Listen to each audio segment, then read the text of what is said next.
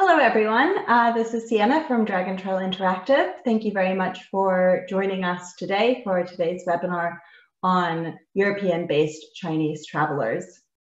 We have a lot of really interesting data and insights to share about this important and often overlooked demographic, including students and professionals who are living in Europe. So we're very pleased to have you join us today.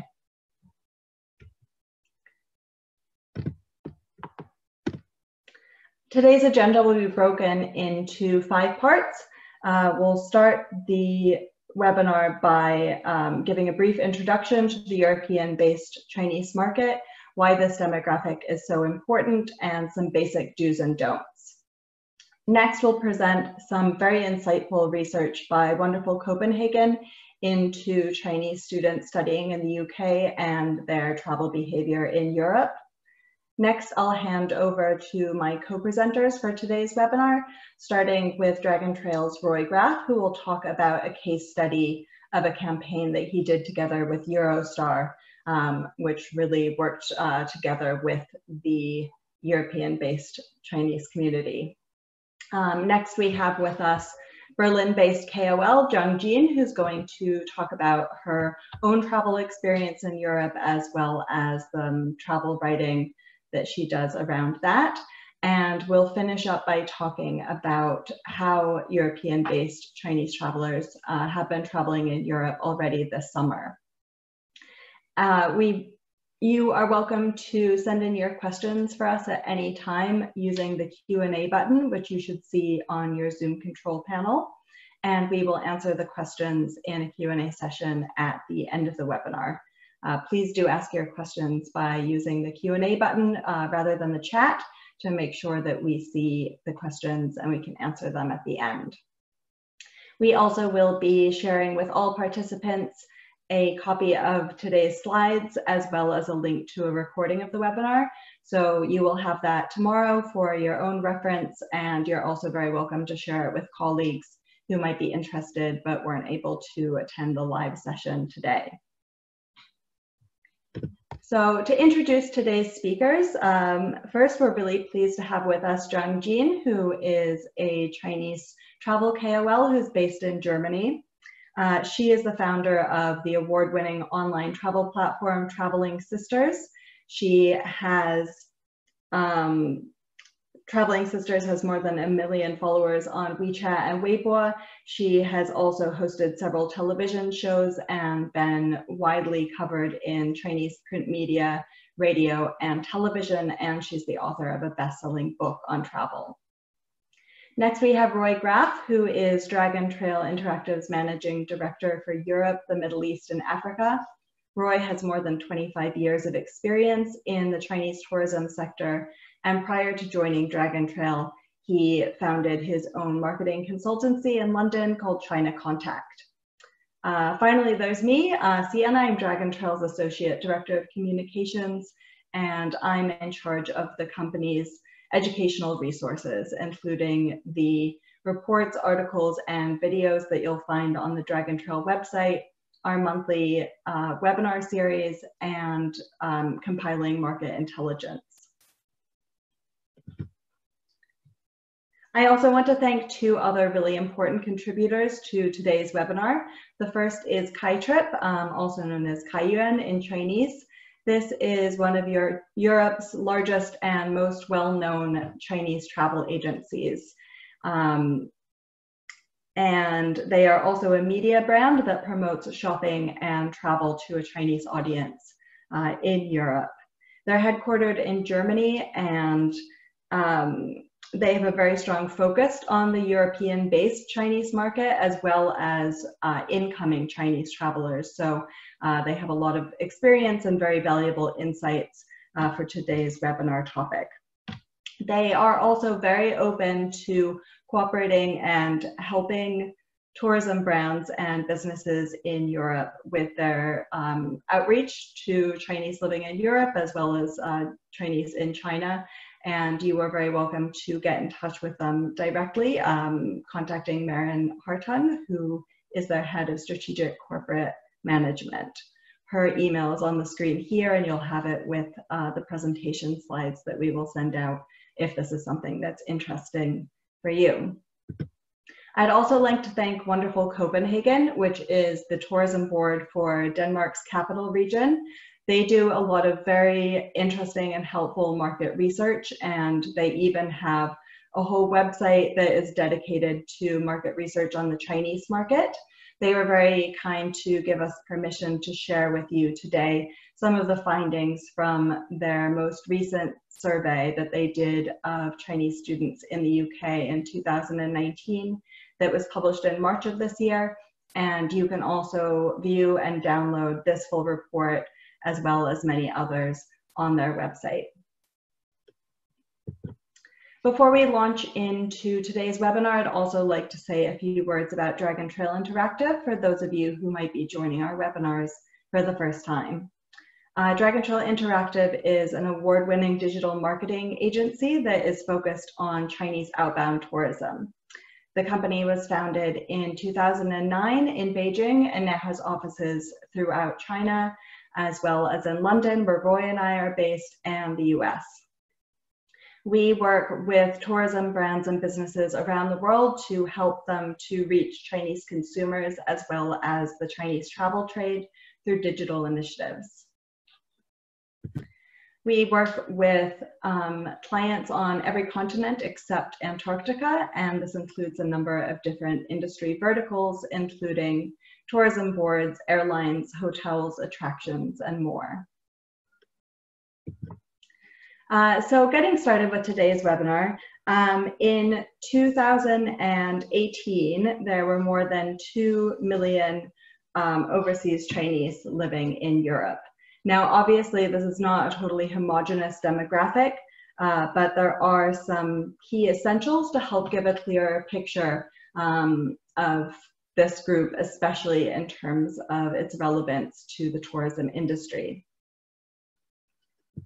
So when we talk about Chinese living in Europe, there are a number of key groups for travel, and these are the groups that Kaytrip targets in um, their work with uh, the European-based market too. So the first of these is students. Um, at least before COVID, there were more than 120,000 Chinese university students in the UK, more than 35,000 in Germany, and more than 30,000 in France. So um, this is a, a, huge group. Obviously, there are also many Chinese professionals, uh, young to middle-aged professionals who are living and working in Europe and may well have come over together with their families. Um, Kaytrip also works with Chinese businesses that are based in Europe as well as official institutions to provide travel services to their employees. So these European-based Chinese, they're not just important because they're uh, consumers or tourists. They're also um, can really be seen as influencers, as KOCs, key opinion consumers.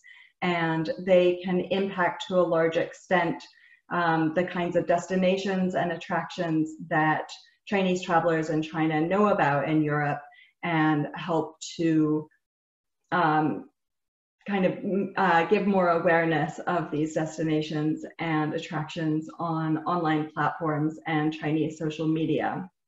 They're also very likely to be receiving visitors from China and obviously have a big impact on uh, what these visitors do and where they go when they are in Europe. Just as an example of how influential Chinese in Europe can be on the tourism industry, uh, the website qyer.com, Qiongyou, is one of China's biggest online travel platforms. And this was actually founded by Chinese students in Germany as a platform where they could meet uh, travel companions and share information about backpacking through Europe. Uh, as of 2019, this website now has 88 million users. So we talked to Kaytrip about how European-based Chinese might differ from Chinese outbound tourists and to identify some key do's and don'ts, especially uh, for the current situation. So as European residents, these are likely to be quite experienced travelers and to have strong European language skills. And this means that they could be especially sensitive to being perceived as um, just another Chinese tourist or a source of cash.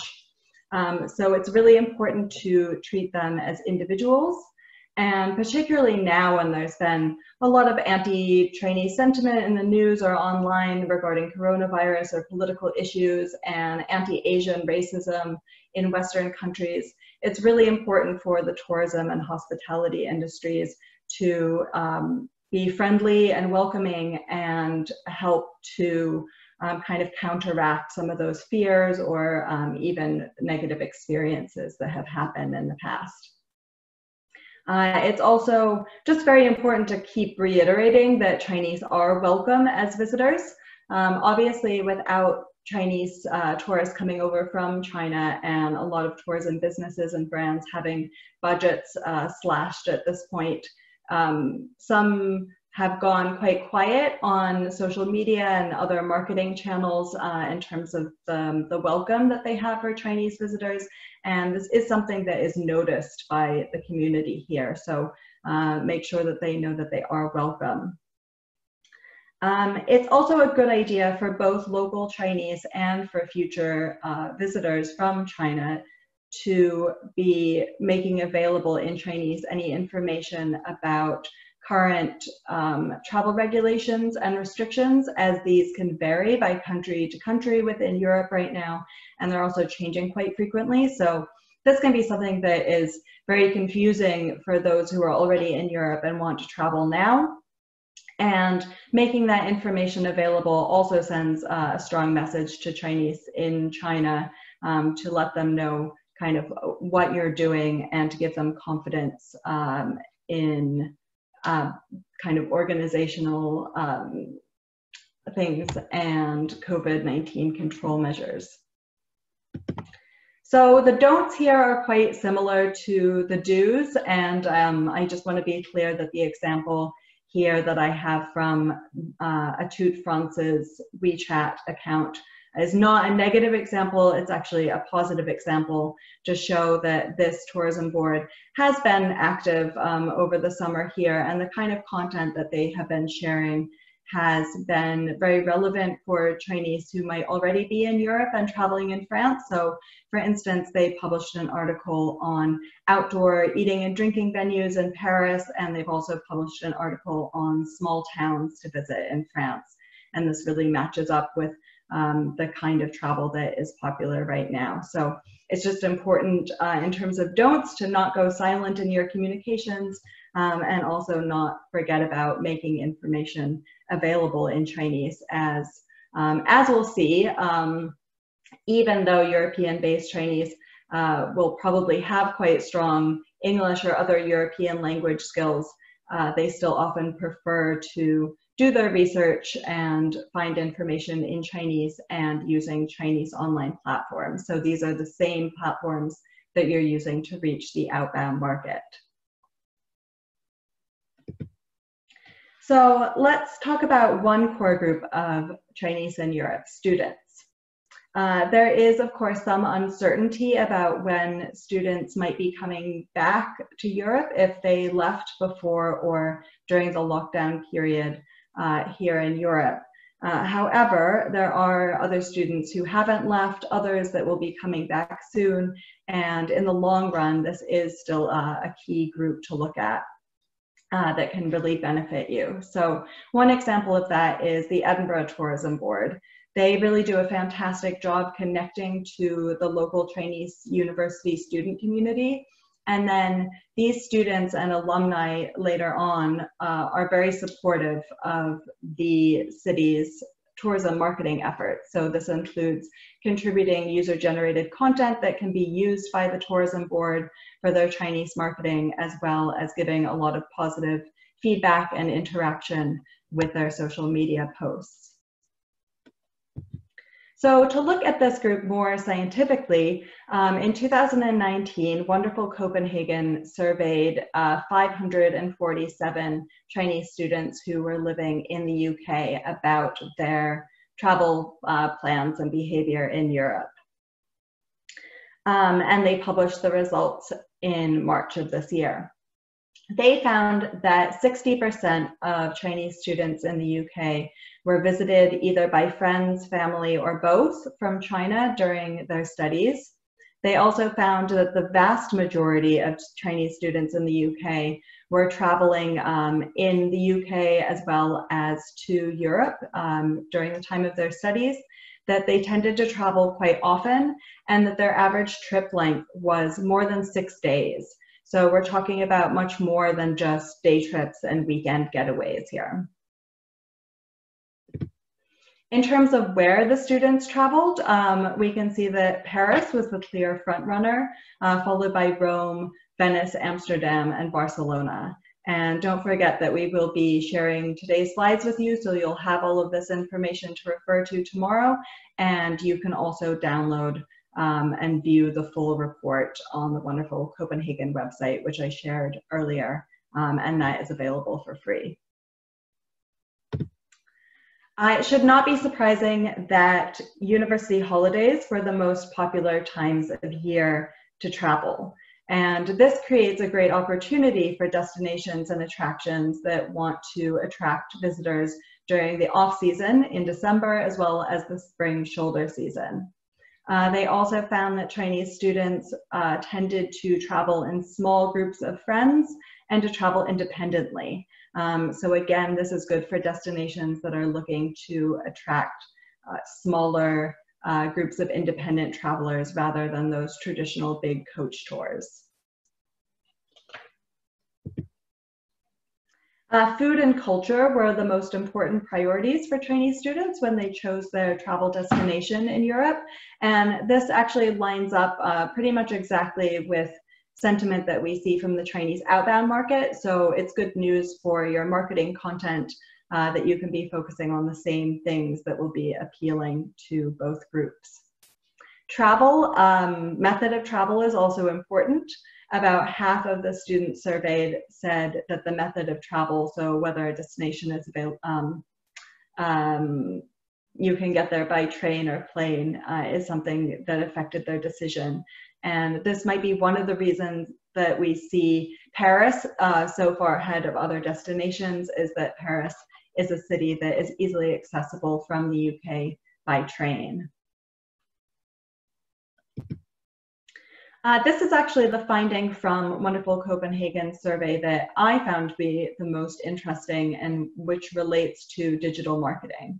So we know that when marketing to Chinese in China, it's important to use uh, Chinese channels uh, because things like Facebook, Instagram, Twitter, YouTube, etc., are all blocked in China. But what about Chinese students studying in the UK where there is no great firewall on the internet? Uh, it turns out that they still prefer to use those Chinese channels. Um, so Weibo, Mafengwo, WeChat, and Dianping all led the way as sources for information for planning travel. And of course, these are the kinds of platforms that the students will be familiar with using. They're in Chinese, which is very important. They're the same channels that are being used by these students' friends and family back home. And I think there's also something to be said for getting travel information and tips from other Chinese travelers who might have um, a similar cultural background as well as similar travel priorities. Again, here on the right, we can see that Chinese travel websites, Qiongyou and Mafengwo, um, were the most important sources of information for choosing a destination to travel to, followed by personal interests. Um, another finding from the study is that travel bookings were generally made within two months of travel. So please do check out Wonderful Copenhagen's uh, Chinavia website uh, for all of the findings from this report, as well as other reports that they've published um, over the past several years about the Chinese market. So at this point, I'm going to hand over to Roy to share a case study um, from Eurostar that really engaged Chinese living in Europe.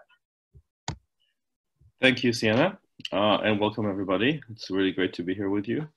Um, this uh, campaign is already quite a few years back, um, but I think it illustrates the way in which it's possible to target Chinese in Europe and how effective it can be. Um, so if we uh, go to the next slide.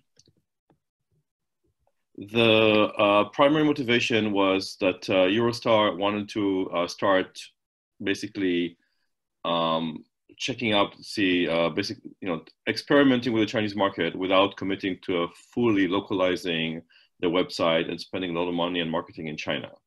So they have a limited budget. They didn't want to make any uh, big systematic changes to their systems. Um, and they wanted, I think, to just uh, prove that it's possible to get the Chinese market to book more directly uh, with Eurostar.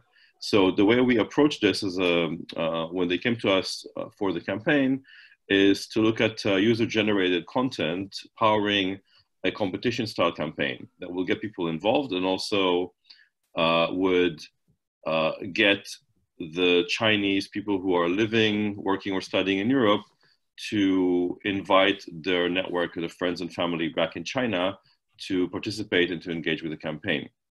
So it took place between the end of 2014 and uh, around up to the middle of 2015. Uh, the campaign, the full campaign um, overall was around six months. Um, the main parts uh, took place between September and February. Now, uh, we started with a uh, invitation for people, anybody to upload a short video um, about their favorite places in Europe and something to do with the European kind of uh, attractions or European life. They didn't have to necessarily live, uh, be based in Europe, but uh, it was uh, the invitation was focused on people who could show show their favorite places in Europe. So uh, naturally, it mainly focused on people who were already in Europe at the time. We used um, we used uh, um, short video apps that share, could share into Weibo, and we used um, Weibo hashtags in order to um, bring it all together and create um, a mini site for the campaign that tracked all the hashtagged um, linked posts. And then through the competition, there was an opportunity to vote, to invite your friends to vote for your video. Uh, that way we got more kind of viral sharing. And at the end, we narrowed it down to a short list. And then the, the 10 finalists were given the opportunity to film a professional um, shot, a professionally shot uh, short video with a team that Eurostar basically paid for, a professional team um, of videographers. It was directed by the um, people uh, that uh, won. And out of those uh, 10 that were then basically shared again, and there was another public competition to vote for the finalists, the final uh, winning video was selected through uh, a panel of judges. And the winners basically, um, we, we, they, they chose uh, two winners, one from Paris, one from London, with the um, prize being a full day, 24 hours in either Paris or London, including a Eurostar trip. Um, and that covered overnight, uh, business class Eurostar, return travel, and then uh, an all expenses paid uh, sightseeing tour, as well as um, uh, free shopping with a, a, budget to go shopping in a department store in uh, London or Paris. And um, basically the way that we we did that is uh, by engaging partners, including uh, Galeries Lafayette in Paris and um, uh, the New West End Company and uh, uh, in, in in London to basically provide credit uh, for shopping as well as hotel partners and sightseeing tour partners. Now, um, all of these, uh, this actual um, trips in Paris and London were then professionally photographed as a documentary style. So there was a lot of content available to then create different lengths of videos that was widely shared on social media. And the winners also got a, um, a DVD of their trip as a souvenir uh, to take back with them and to share with their friends.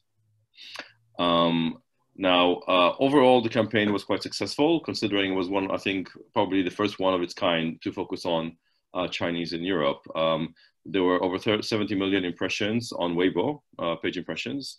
It got coverage in Chinese media, specifically focusing on Chinese journals uh, and uh, Chinese newspapers based in Europe. Um, and it was also uh, quite uh, high up in the results. It was basically the top search results for on Baidu, the um, Chinese search engine, um, when people search for Eurostar.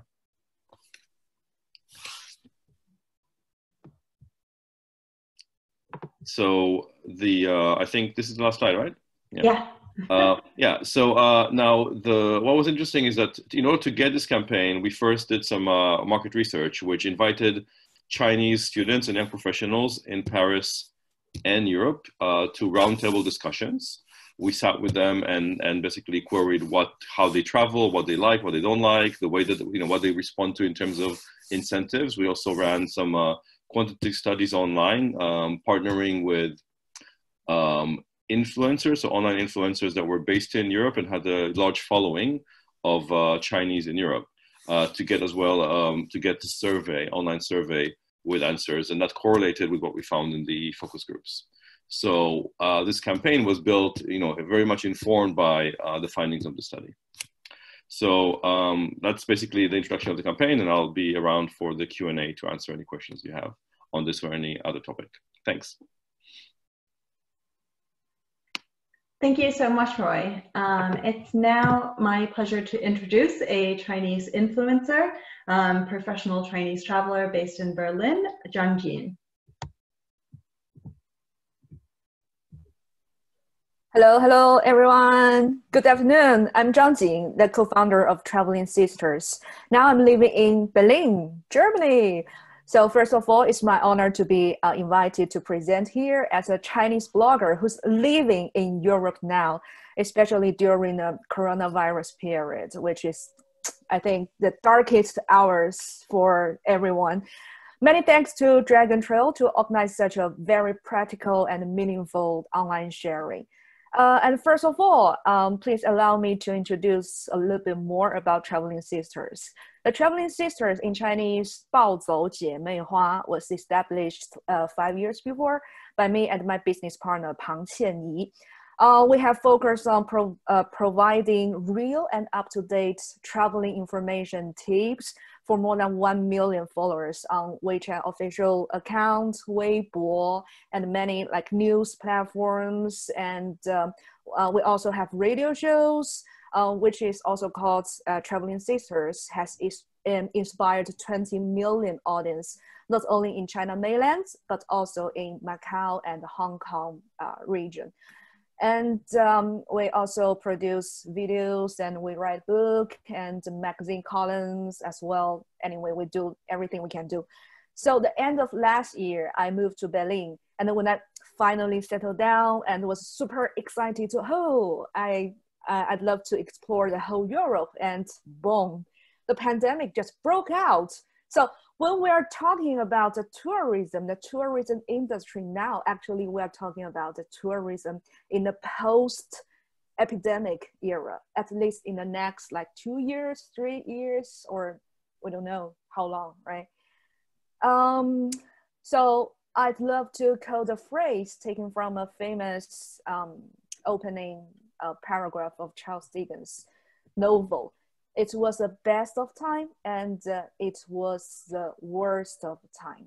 I think for a second half, everyone has very deep feeling because the tourism industry is among the, the sectors most affected by the coronavirus and uh, um, is said to have its largest economic fallout in history.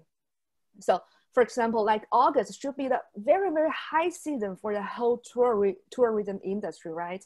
Because um, it's a summer holiday, summer vacation for all of the kids in university, in kindergarten, uh, in school. And we should have a lot of like the group, like the overseas study group, like two weeks in Cambridge or one month in Berlin music, Schule, something like that. Or we will have a lot, a lot of like family travelers from China mainland. But now we have nothing, right?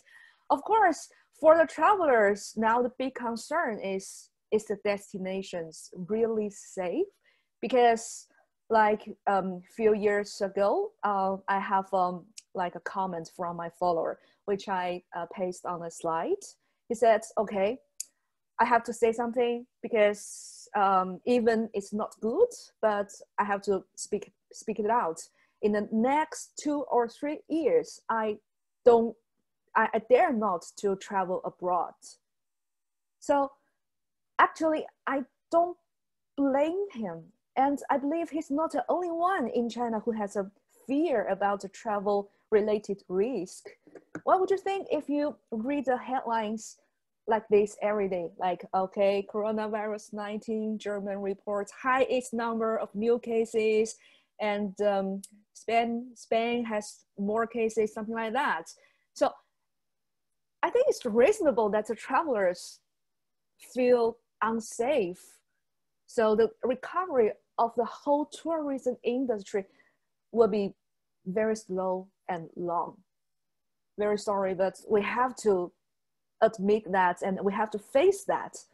But next slide, it still could be the best of time. Why? Because opportunity always come with challenges. So, for, for example, the pandemic is likely to speed up the pace of digitalization. I was super upset like every day when I just moved to, Berlin because as a Chinese, I get used to like cashless payment or something.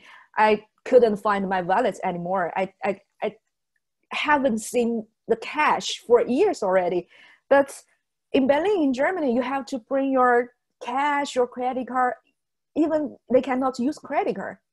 So basically, you have to bring your cash with you forever, all of the time. But thanks for the coronavirus. No, I couldn't say thanks. But because of the thank, uh, because of um, uh, coronavirus, we have more like cashless payments because we have like no touch rules, no touch policy. So we have more online shops or something. One of my best friends, he's working uh, in a super big mall like Cadve, something like Cadve Lafayette in Vienna. And uh, um, he's working in the marketing department. And he said, finally, we have online shop because of coronavirus. I said, what? You haven't had the online shop before? Because for me, it's like, that's impossible, right? So because of um, um, because of um, uh, coronavirus, we are we speed up the um, digitalization, uh, which is super convenient for the travelers, not only the travelers in China, but um, the travelers, the Chinese travelers in Europe as well. And at the same time, live stream shopping becomes a latest trend in China. It helps a lot of business survive the pandemic because we don't have guests in our shop. And what can we do? Use the stream live stream shopping shop. During the lockdown in China, Traveler Sisters, we we were invi- uh, invited um, uh, by Ctrip, which is a super one of the largest OTA in China. We make two live stream um, selling performance or something like that, and we got like um, 10 million RMB. We sell the hotel rooms, and we got like 10 million RMB so that is a very good, um, the very good result, I have to say. And the tourists, the German tourist board, tourist board, they have online competition to find the live stream, uh, streaming hosts among the Chinese living in Germany. So before the Chinese could really travel to Europe in person, the Chinese travelers, they can enjoy cloud trip we called it Yun Xing, cloud trip. Um, and what we can do is we can um, diver diversify the market and sharpen market research to identify the strong segments likely to recover first. For example, for the uh, tourism industry in Europe, definitely the Chinese travelers um, based on uh, Europe, right, living in Europe. Okay, uh, and uh, what's more, in order to increase customers' confidence and ease travelers' fears about travel related to risk, what can we do? Can we uh, cooperate with the global health experts to work together to develop industry guides, guidance, guidelines, which might change the modern tourism industry forever? Can can can we like um, the tourist uh, stakeholder in Europe. Can we do that first? And um, um, if you are ready, if the destinations are ready, please use social media effectively and to tell all of the customers, to tell the whole world, hey, we're doing whatever we can do to make the destinations, to make our group, our tour safe. And I have something to, to, to share. I got an invitation from Turkish Tourist Board last week. That is the first invitation I got after the, um, the virus um, outbreak.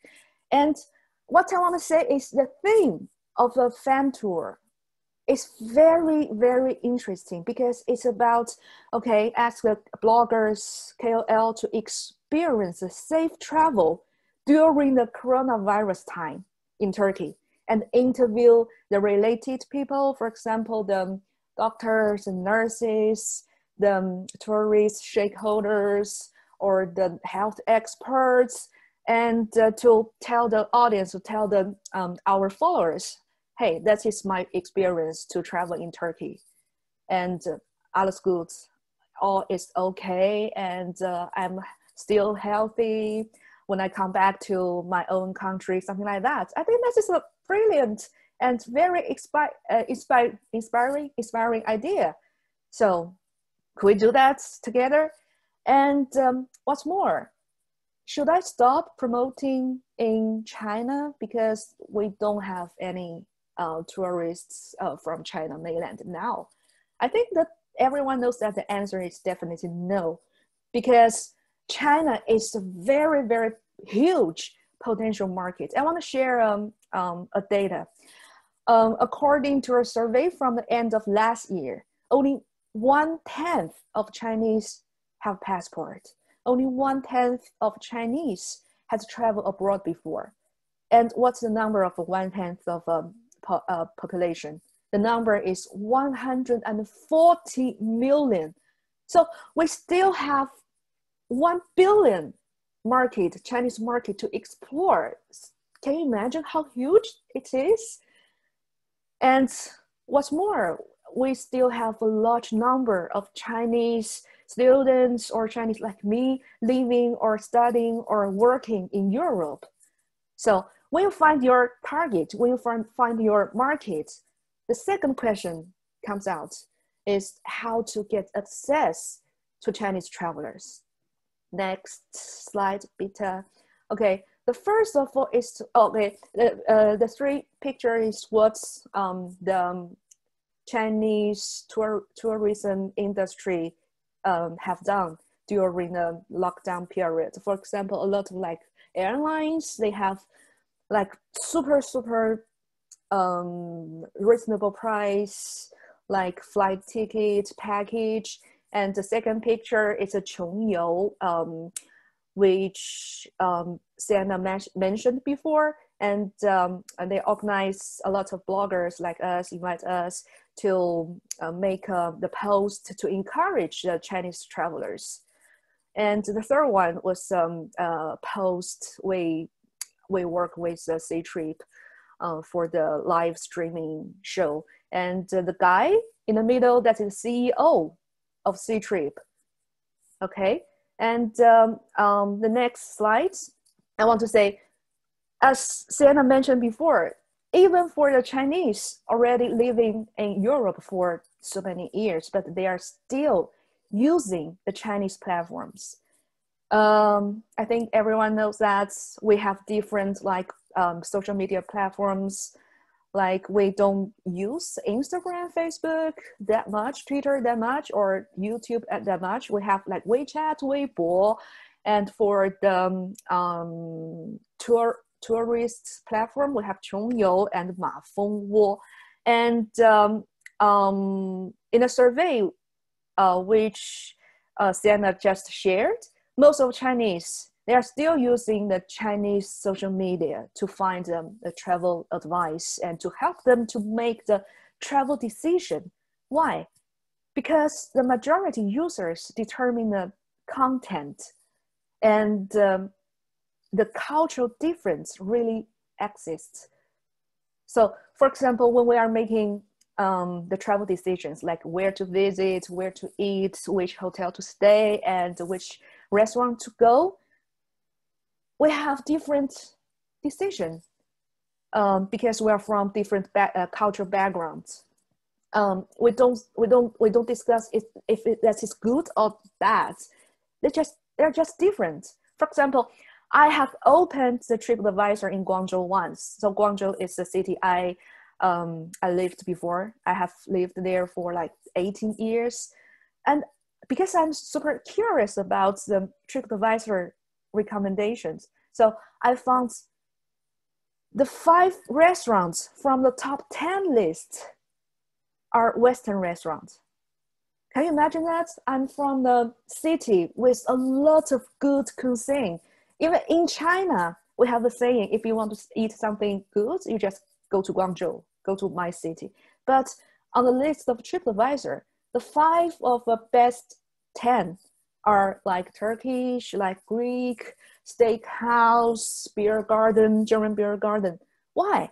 Because who left the comments, the reviews? They are Westerners. For example, another example, I had a graveyard tour at midnight last year in Canada, which is super, super good for me.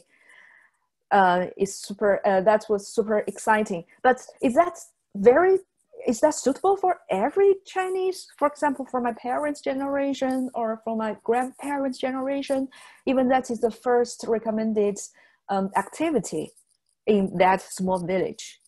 The answer is no, because for Chinese, for um, especially for the older generation, the graveyards means unlucky. It bring you bad luck. It bring you death, something like that. So if I tell my mom, if I, I invite my mom, say, hey, let's have a graveyard tour together, I'm pretty sure my mom will roll her eyes to me, definitely. So the recommendation from Chinese seems to uh, to be more safer for Chinese travelers. And what's more, most most Chinese travelers we still need very strong strong sense of security in trip. So, like in Instagram, just use one picture and few text.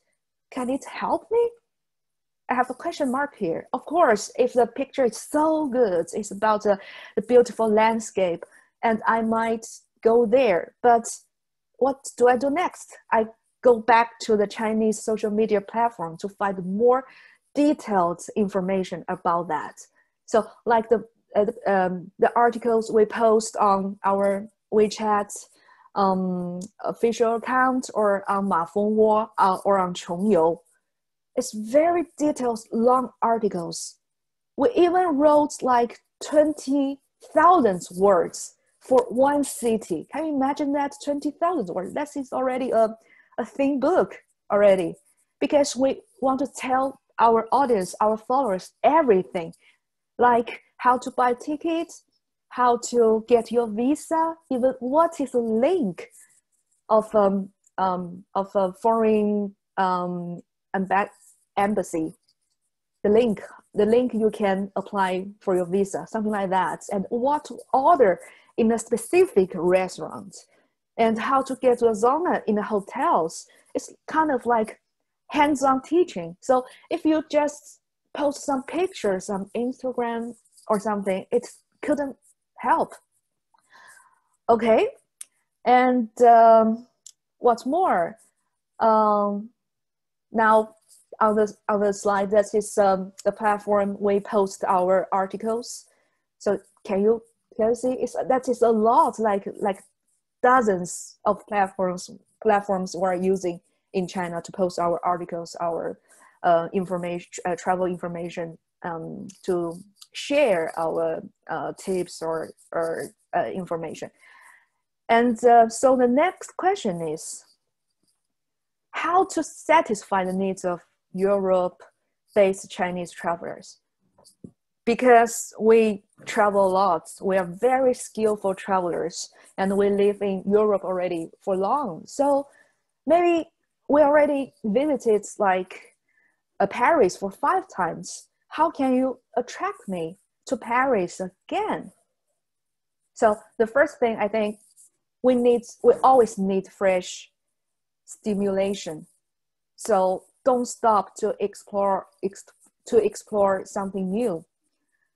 Um, for example, I I was in um, Girona, which is a small Spanish city like two years before because that is very small. I stayed there for like three days. It's already enough for a, for a small city.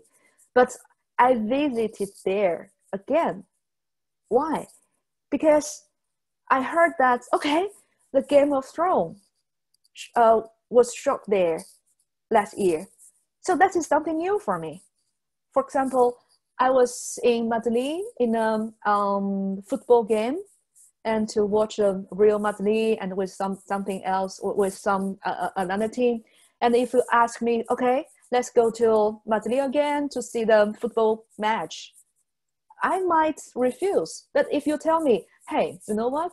After the uh, football match, we can have a um, um, have a meeting with the football players. I will definitely go there. So even for the destinations, it's already very, very well known. Just find something new. That's always helpful. And uh, for the new destinations, the new destinations I mean here is um, those cities, those destinations, not like Paris, Barcelona, Rome, Berlin, but the small but beautiful places. We have a lot of places, places like that in Europe with very rich uh, history, culture, and and um, blah blah blah, whatever. And uh, how to make the Chinese travelers not only um, in China mainland but also in Europe know about us? That's a question, right? But first of all, you have to use the right platform, social platform, and uh, the second is to find the right angle to promote your own destinations or your business, your tour, your routes, your group, something like that. For example, I give um, give you some ideas. Do you have like historical stories or characters which the Chinese are familiar with? Like maybe Goethe uh, have stayed there for like two nights, or the Queen Elizabeth uh, was there before, something like that.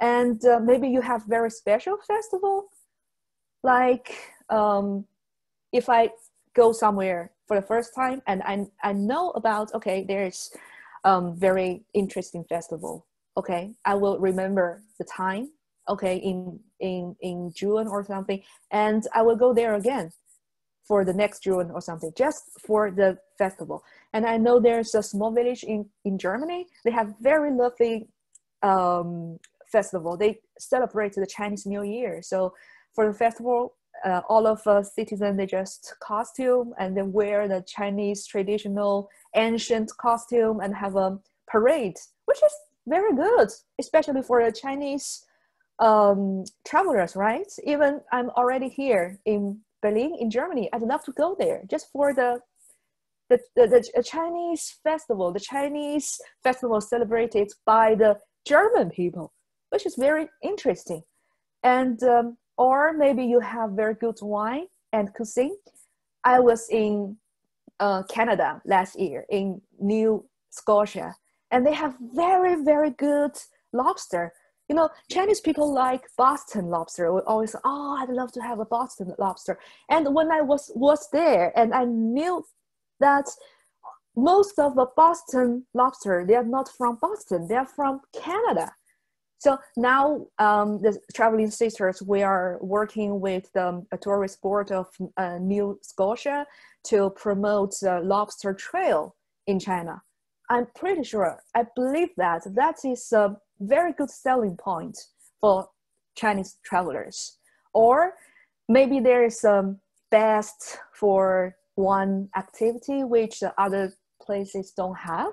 For example, I was in uh, Australia in Fraser Island, which is um, island not far away from Brisbane and Gold Coast. It's just like two hours by car.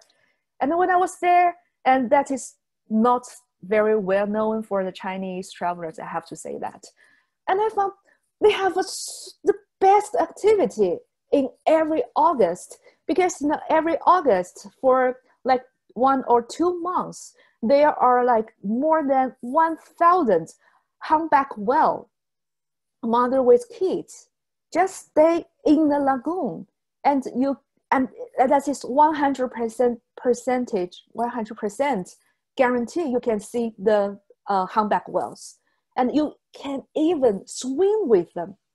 When I tell my friends and say, no, why I spend like 30,000 to go to Tang- Tango, Tango, Tanga, Tanga, no, a, a country in the, in the South um, Pacific. Okay, well, I went, I, I go there, I spend more money, I fly longer, and it's that is even not like guarantee you can you can see the humpback whale, and we can just fly to Brisbane. It's just like eight hours from my country, from my city, and we're and we're already there, and the um, the payment is super reasonable. The price is super reasonable. If you have that, and um, believe me, that is a very, very good selling point for Chinese travelers. And what's more, we need very, um, okay, okay, Sienna, and we need very um, professional service like uh, most of um, uh, the Chinese based on Europe, we are like uh, FIT. And it's that to say we, it's impossible for us to join um, a little a group? That is no. Because like me i always um, join in the, the city tour in every city in every city because i'm new there. So there must be someone who can tell me more about the history about the story. I'd love to join them. Or if i travel to iceland and i'm super bad and i want to see the green light and I'm a super bad at driving on the icy roads and I have zero experience where to go to see the um, the green light. Okay, and then definitely I take part in. I join in a local group tour.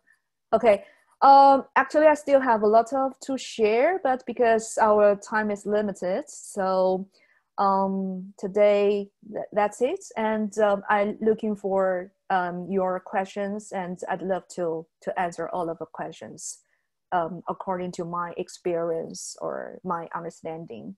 Okay, uh, alles gut. Tschüss.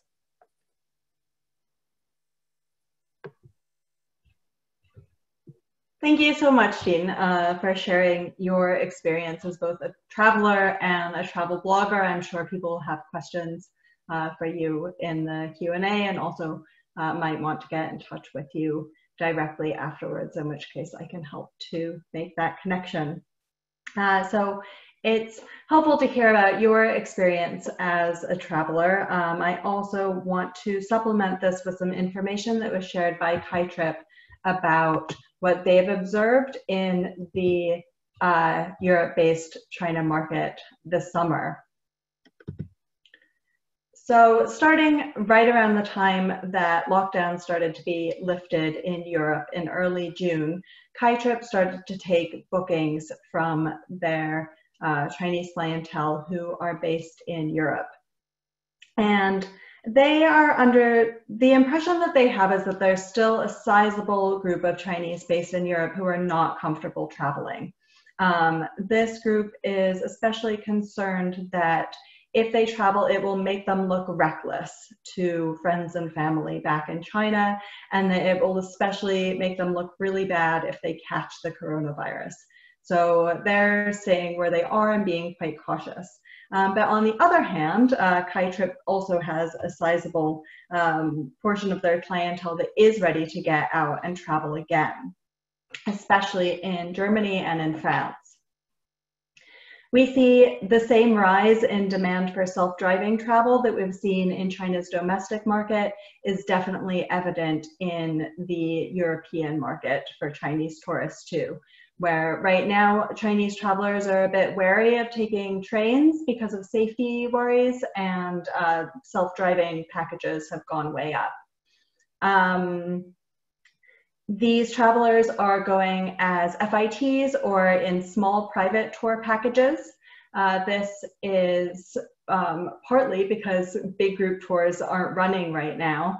Uh, thinks that the earliest these might come back are in the autumn of this year.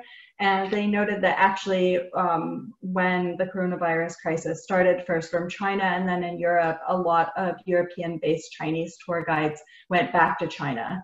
And those who have stayed in Europe are trying to do um, anything they can to stay active and make money. So this can include daigou, uh, cross-border uh, commerce, as well as live streaming.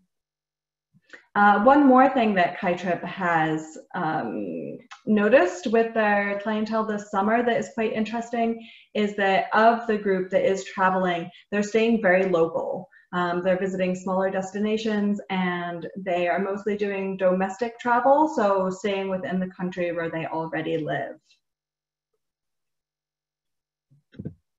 Uh, Kaytrip was able to help us to conduct a small survey of their European-based clientele last week. Uh, there are only 39 respondents. We want to be clear about that. So it, this is not a scientific study.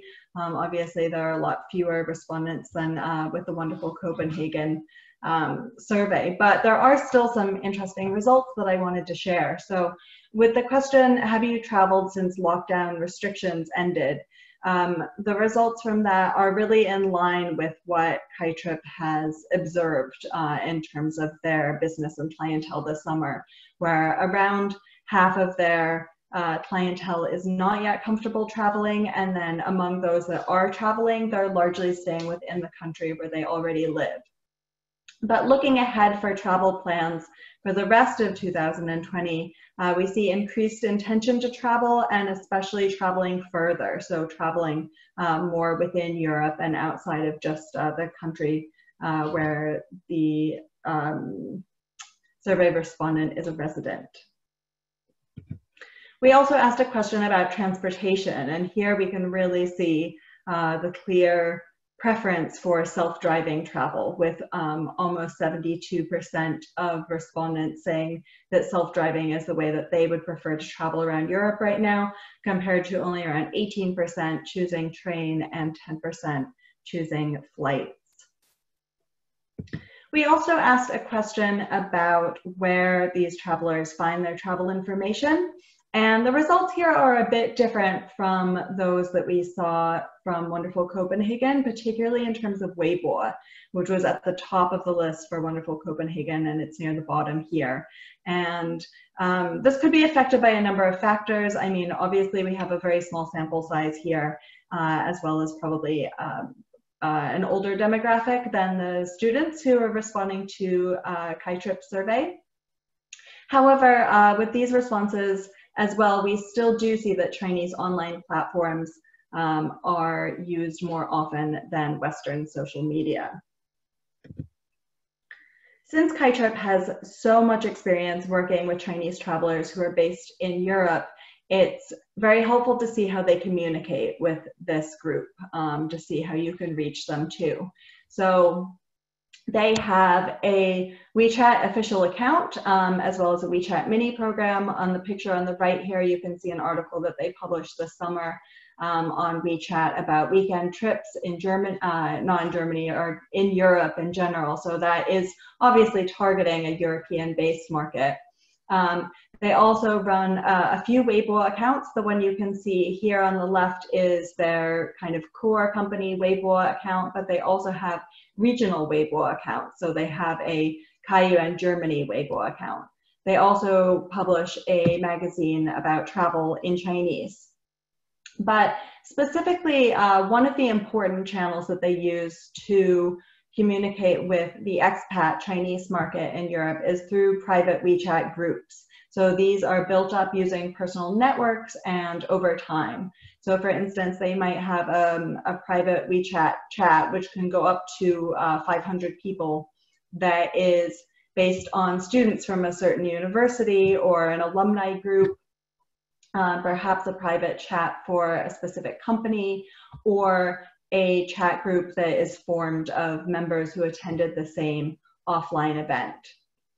So these are all the channels they use. Um, Kaytrip is very keen to help other tourism brands and businesses, uh, especially at this time. So um, particularly if you're a tourism board and you have a kind of a message, uh, official welcoming message for Chinese visitors, uh, this is something that they are very happy to help to amplify using their own uh, social media channels. So do get in touch with them if that's something uh, that you would like to do. Obviously, COVID-19 has changed uh, tourism marketing for Chinese and live streaming is the biggest way in which it's changed. Um, we've talked a lot about the rise of live streaming for tourism marketing. Uh, Jin shared earlier on and in um, earlier webinars this summer. So uh, has its own live streaming channel um, on the Mafengwo live streaming platform, and they have been using that this summer specifically to promote traveling in Northern Europe, particularly Denmark. They've done city tours in Copenhagen, as well as uh, a cooking class at the world famous restaurant Noma. Um, Jin also talked about e-commerce and live streaming shopping. And this is another thing that Kaiyuan has gotten into. They work with many different European brands uh, and they have been using the Chinese platform Pinduoduo to do some live streaming uh, for e-commerce. And this e-commerce hasn't just been cross-border e-commerce from Europe to China. It's also been for Chinese who are living in Europe but at this point who would prefer to avoid going to shops or to city centers. And so they're buying online instead. Um, they even did, Kaiyuan, they did um, cooperation with the piano brand Steinway to help them to promote a live streaming of a piano concert.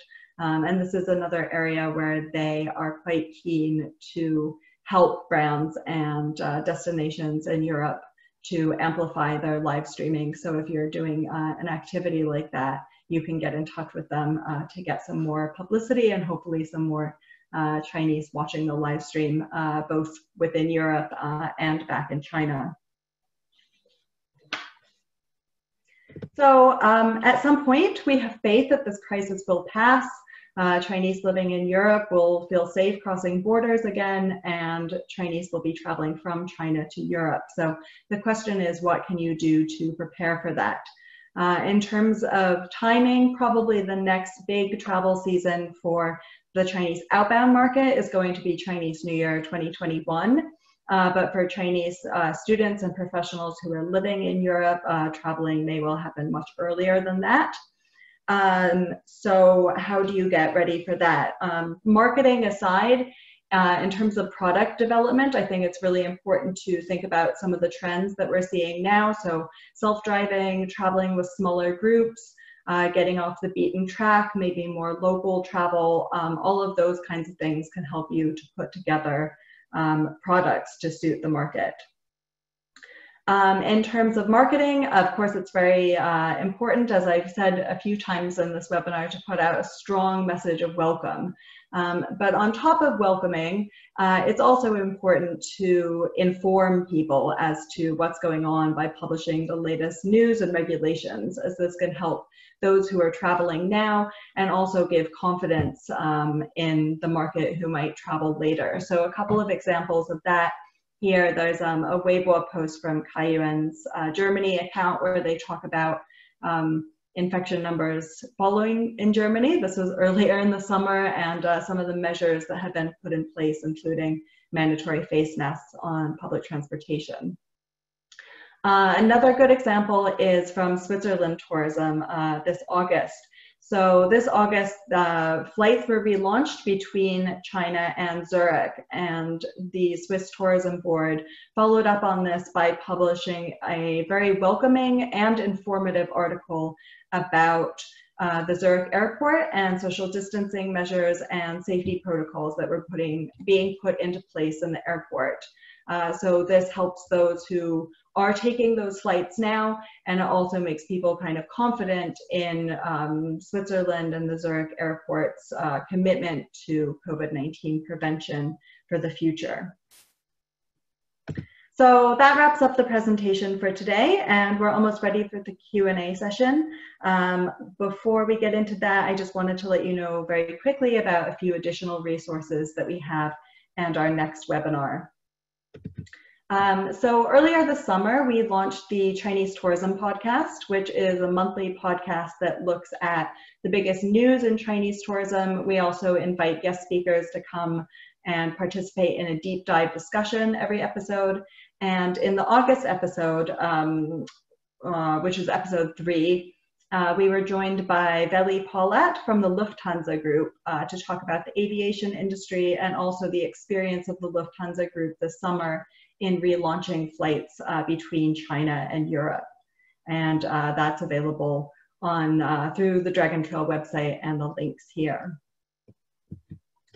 We hope that you will be available to join us in three weeks for our next webinar. Uh, we'll be doing that together with media brand Jing Travel, looking at China's domestic tourism recovery and the kinds of lessons that travel destinations and businesses outside of uh, China can learn from that. Uh, meanwhile, if you're looking for more information, including reports, videos, um, interviews, weekly WeChat and Weibo rankings, you can find those all on our website, dragontrail.com. You can also sign up for our monthly newsletter and follow us on social media on Twitter, LinkedIn, and Facebook, um, as well as WeChat for um, daily updates on Chinese tourism and kind of upcoming events. So thank you so much to everyone for joining today. And please do send in any questions that you have using the Q&A button on your Zoom control panel.